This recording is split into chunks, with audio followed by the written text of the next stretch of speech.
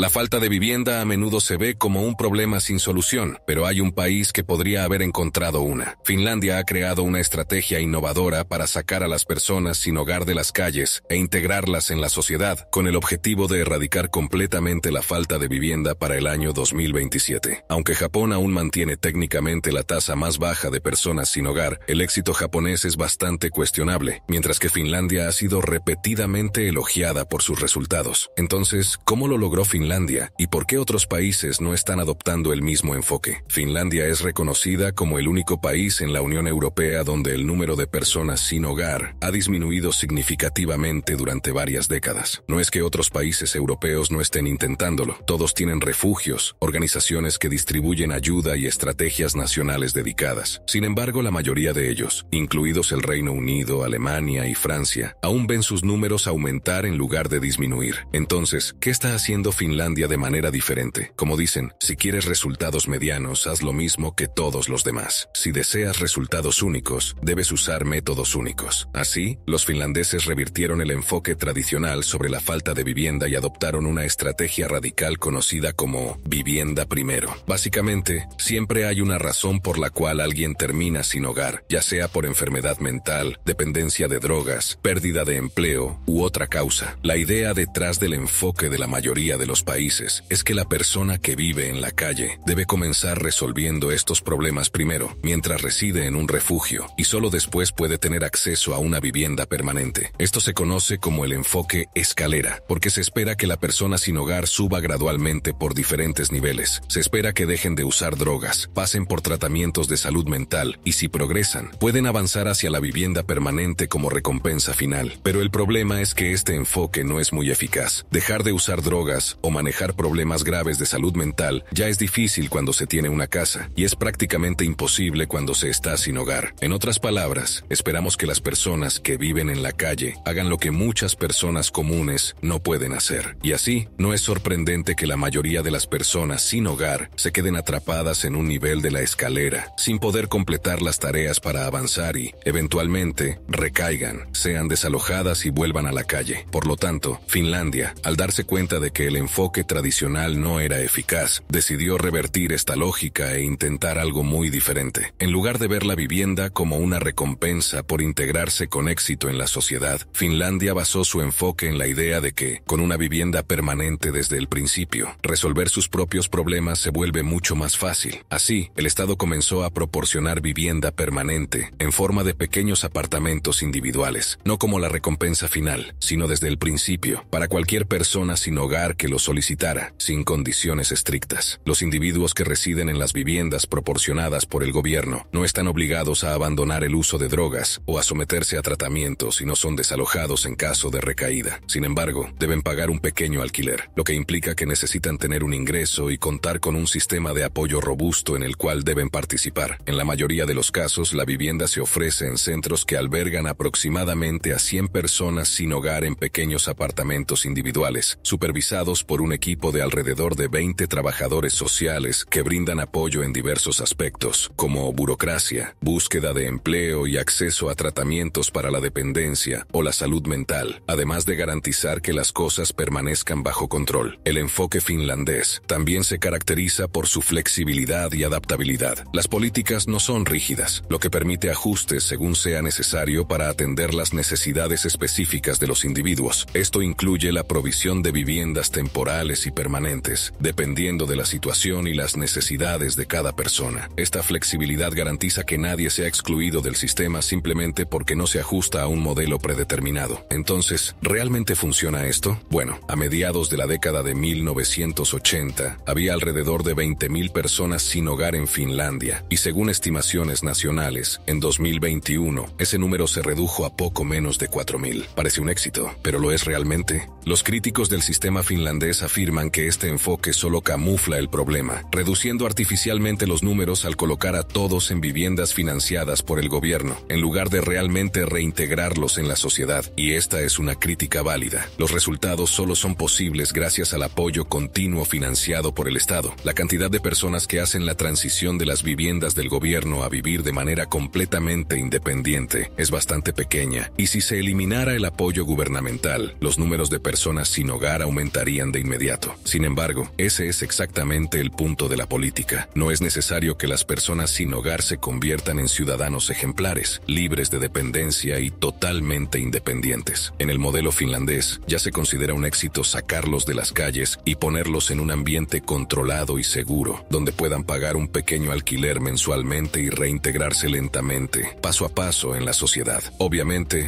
esto cuesta mucho dinero. El gobierno finlandés invierte bastante en la compra de apartamentos y en su conversión en viviendas para personas sin hogar, subvencionando fuertemente a los desarrolladores que construyen estas viviendas, subvencionando en gran medida los alquileres y empleando a muchos trabajadores sociales que trabajan con las personas sin hogar. Y esto no es barato. Sin embargo, según las estadísticas finlandesas, este enfoque realmente compensa financieramente. Un estudio de costos financieros muestra que Finlandia ahorra 15 mil euros al año por cada persona sin hogar que alberga. Aunque gasta dinero en viviendas y trabajadores sociales, sigue siendo mucho más económico que asumir los costos de cuidados de emergencia, policía, sistema de justicia y todos los costos asociados con tener personas sin hogar viviendo en las calles. Por lo tanto, al final, es un modelo que beneficia a todos. Definitivamente es mejor para las personas sin hogar, que no necesitan vivir en las calles o en refugios temporales, muchas veces peligrosos. Es mejor para las personas comunes, que no necesitan lidiar con criminalidad, uso de drogas y otros problemas asociados con personas viviendo en las calles. Y es mejor incluso para el gobierno, que termina ahorrando dinero. Además, la experiencia de Finlandia ofrece lecciones importantes sobre cómo las políticas públicas pueden ser eficaces cuando se basan en principios de dignidad humana y derechos fundamentales. La vivienda no es solo un techo sobre la cabeza, es un entorno seguro y estable que permite a los individuos reconstruir sus vidas, obtener empleos y cuidar su salud física y mental. El enfoque de vivienda primero reconoce que la seguridad y la estabilidad son requisitos previos para cualquier otra forma de rehabilitación o integración social. Si el modelo funciona en Finlandia, ¿por qué no se adopta en todas partes y tendría éxito? Esta es una cuestión compleja y existen razones prácticas e ideológicas para que Finlandia sea única en su enfoque. En primer lugar, incluso si hay interés, no es tan simple replicar el modelo finlandés en otros países. Por ejemplo, la condición básica para ofrecer viviendas es tener un número suficiente de ellas, y como la mayoría de los países enfrentan una crisis habitacional, esto se vuelve complicado. Una de las razones por las que Finlandia puede hacer esto es porque las ciudades finlandesas generalmente poseen la mayor parte de los terrenos, pudiendo utilizarlos para construir muchas unidades de vivienda social, lo que no es común en otros lugares. Así, aunque esta política tenga éxito en Finlandia, puede no funcionar en otros contextos. Sin embargo, para tener éxito, requiere muchos recursos invertidos, la capacidad de comprometerse durante décadas en lugar de solo años, y por último, necesita ser parte de un sistema más amplio. California, por ejemplo, ha estado experimentando la política de vivienda primero durante los últimos 10 años, pero no ha obtenido los mismos resultados. Esto se debe a que carece de los elementos necesarios para el éxito de esta política. A diferencia de Finlandia, California tiene reglas de desarrollo extremadamente estrictas e inmuebles muy caros, lo que hace prácticamente imposible construir vivienda social a gran escala. Además, la vivienda es solo una parte de la solución. Para replicar el éxito finlandés, se necesita un sistema de seguridad social robusto, muchos trabajadores sociales y acceso a servicios de salud, salud mental y tratamientos para la dependencia, algo que California no posee en cantidad suficiente. Más allá de razones prácticas, esta política es frecuentemente rechazada por motivos ideológicos. Existe una idea profundamente arraigada de que las personas sin hogar deben merecer una vivienda, en lugar de simplemente recibirla, y que esto crearía un precedente negativo, a pesar de que los datos y evidencias sugieren lo contrario.